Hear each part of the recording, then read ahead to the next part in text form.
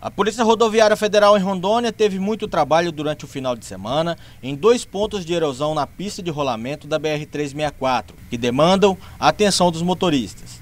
Em Ariquemes, no quilômetro 523, cerca de 4 quilômetros após o posto da PRF, para quem segue sentido Porto Velho, foi registrado um ponto de erosão próximo à ponte.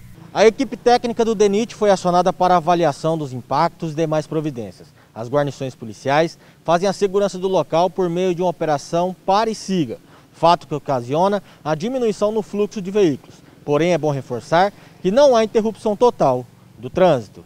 Já em Porto Velho, no quilômetro 714, pouco depois do trevo do Roque, pista sentido Rio Branco, no Acre, um buraco na pista obrigou os motoristas a utilizarem a via lateral, interrompendo parcialmente o fluxo de trânsito. De maneira similar ao ocorrido em Ariquemes, os técnicos do DENIT foram acionados para avaliação técnica e providências. O local está sinalizado, gerando apenas a necessidade de diminuição de velocidade na região do incidente.